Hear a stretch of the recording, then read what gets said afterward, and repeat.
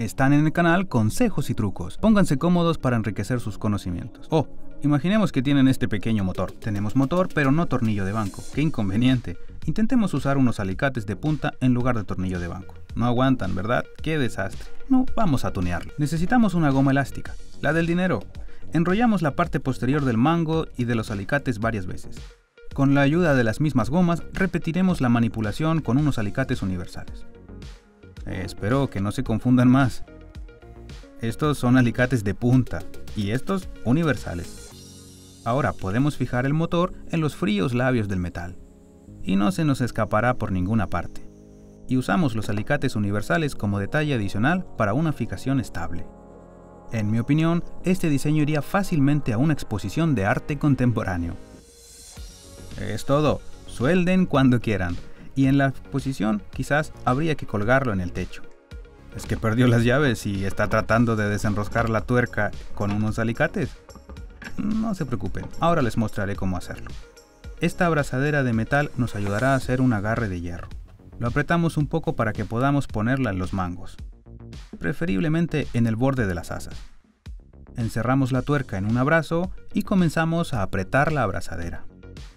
Cuanto más apretamos, más fuerte será el agarre.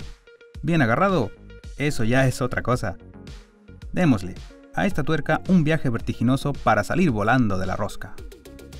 Bueno, creo que me vine arriba y no hace falta que salga volando, entonces tendré que correr a buscarla por toda la habitación.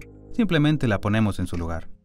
Y bien, nos falta fuerza con el alicate para desenroscar una tubería. Bueno, no queremos dañarla. Lo haremos un poco mejor. Usaremos el interior de los mangos de plástico. rápido, sencillo e indoloro. Y sin dejar marca. Todos felices. Y bien, ¿qué pasa una tapa de plástico en la misma situación? no funcionará. Miren, recuerden, intentamos utilizar una llave inglesa.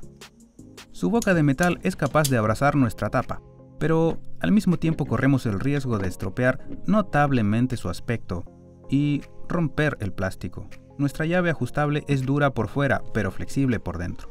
Por lo tanto, con el interior de la llave moveremos delicadamente la tapa apretada del punto muerto. ¿Listo? Bueno, es tiempo de aislamiento. No se asusten, estoy hablando de aislamiento del alambre del cobre. Después de una serie de cortecitos suaves, podemos quitar rápidamente el aislamiento del cable de la siguiente manera. Pruébenlo. Es hora de admitirlo. Periódicamente golpean con el martillo sus dedos, usan los alicates de punta. Todavía necesitarán sus dedos para realizar otros trucos geniales que pueden encontrar en nuestro canal. No esperen más, suscríbanse. Obligatoriamente pulsen la campanilla para no perderse ningún video. Hasta pronto.